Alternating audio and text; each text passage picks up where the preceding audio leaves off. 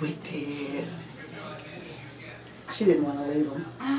What kind of dogs are they? Um, I think I think one. I don't know, but he looks. She looks like Lassie, just a Oh, shorter really? version. Aw, Yeah, It's a miniature. Miniature, yeah.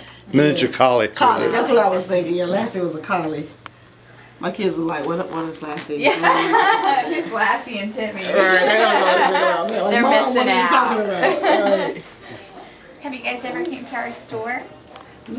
We have a store. It's right off of Independence, and we do free arts and crafts for kids every Saturday. Really? Oh, okay. We should give you this.